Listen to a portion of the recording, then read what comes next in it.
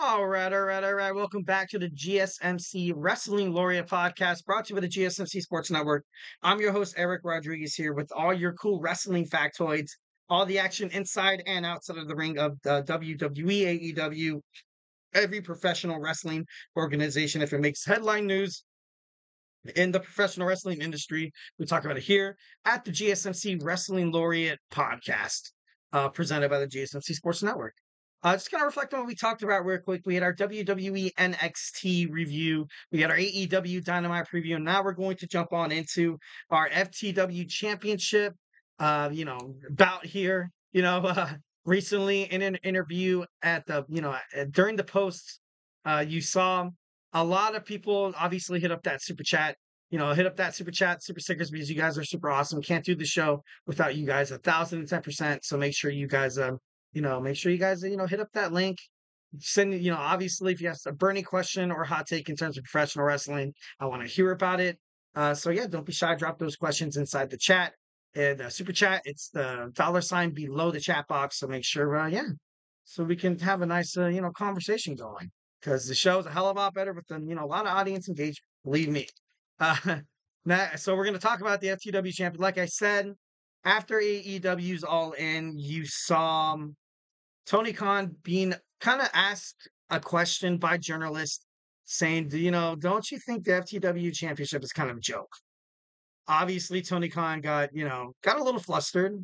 You could tell by the look on Hook's face that he, you know, he was a, he was a thousand ten percent, you know, not pissed off, but he was kind of like, all right, like, because that title is much more than just a title. That's the title his dad created. His dad's, um, obviously you know this, but he, his dad's Taz, you know, in ECW.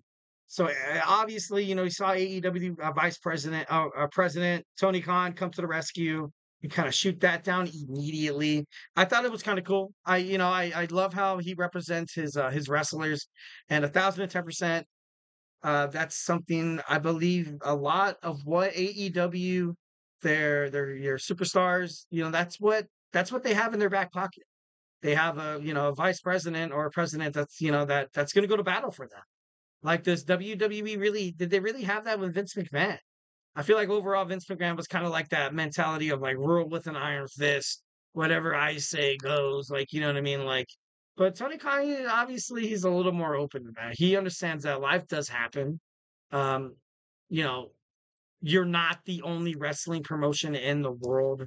Obviously, he does take WWE in consideration. He has a lot of respect for WWE. He even said in an interview that he does poke fun at WWE sometimes because you know it's just it's just fun to kind of get the two wrestling you know wrestling promotions kind of at you know at odds with each other. You know, I mean, kind of having that you know Monday Night Raw and uh, Monday Night Nitro kind of you know, and that's just that's just strategic like public relations, and I feel like that's overall.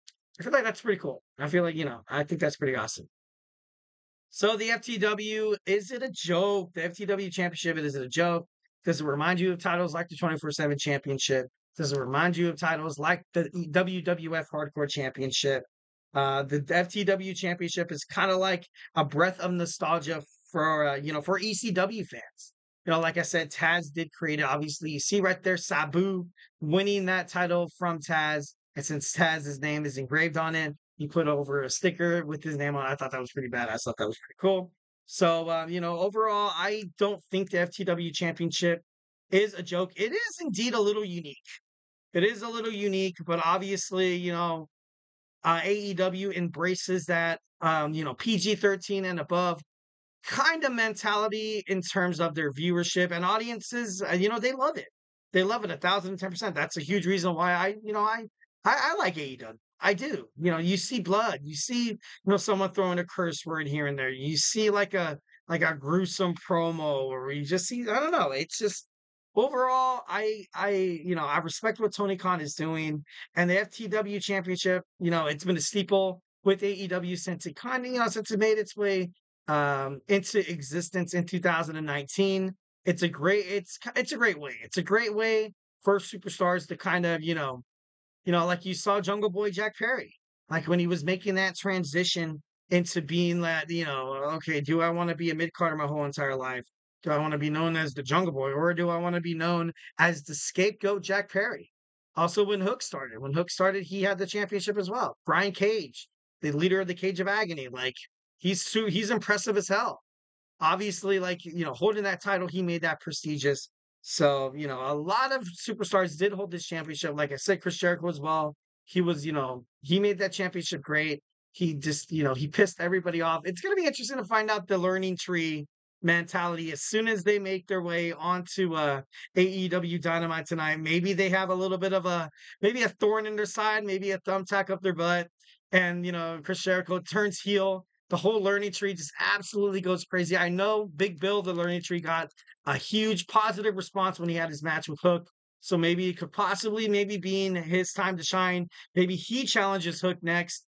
Um, but overall, I, I, you know, I think the FTW championship, although it is unique, and although it might not make a lot of sense to wrestling fans because throughout wrestling, once when a lot of wrestling promotions went down under, you had WWE kind of staple its name as the main, you know, kind of like, okay, this is what it means to be a wrestling promotion. You don't need blood. You don't need thumbtacks. You don't need chairs. You don't need people, you know, throwing themselves off Titantrons. But um, but uh, FTW Championship, the AEW, they they pushed the they pushed the envelope and the fans seem to love it. The fans seem to love it. Obviously, people love and respect Hook when he makes his way inside of the ring every single time. And you know, the FTW championship is not just it's not the only championship in AEW. You know what I mean? Like if people want to like be like, oh, I don't want to fight for the FTW championship, then you know, you can there's Continental, there's also the International, there's the AEW World Heavyweight Championship. There's also this new partnership that Tony Khan has with Ring of Honor. You can challenge for all the Ring of Honor belts. Also, the New Japan Professional Wrestling, all the New Japan Professional Wrestling strong belts, the CMLL, the uh, Willow Nightingale, an AEW superstar is the CMLL World Women's Champion. So obviously, there's you know a lot of different ways you can go about your career. Um, you know, the journalist that kind of you know mentioned it. Uh, I, I, I see what he means. I definitely a thousand and ten percent kind of see what he means. You know, the um, I watched a, a pay per view AEW Double or Nothing at Las Vegas where, you know, Chris Jericho threw out a bunch of dice and suplexed um, Hook onto it. And I was like, all right, you know, it's starting to get a little, you know, uh, it's starting to get a little, you know, but overall, that's, you know, what do you expect? What do you expect? Like, you know I mean? Like the FTW championship, it is what it is. It's, it's not made to make superstars who hold it into this on screen kind of person you can't take serious. You know, it's, it's not a joke. It's not a joke to them. So why do you have to disrespect it? You know, if someone's holding the, you know, uh, when R-Truth hold the 24 7 championship, you know, people like, oh, that title's a joke. Dude, I held that title proud. If I won, if your GSMC Wrestling Laureate podcast host, Eric Rodriguez, held the 24 7 championship of WWE, I would a thousand and ten percent be like, dude, this is sick. I feel like I've won the WWE WWE World Heavyweight Championship. I felt like I've won the Larry O'Brien Trophy. I feel like I've won the Stanley Cup. That's how, like, do like it's uh, a, a title is a title.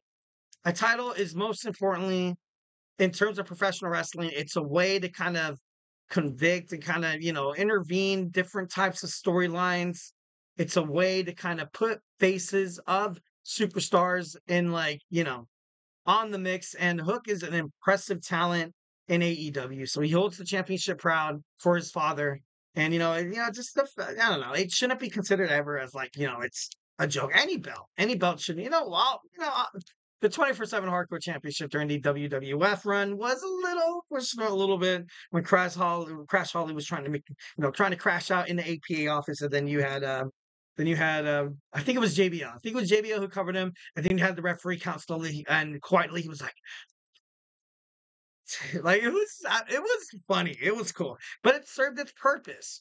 The you know wwf fans knew exactly what it was and they didn't resent it they took it as a way to kind of you know be entertaining.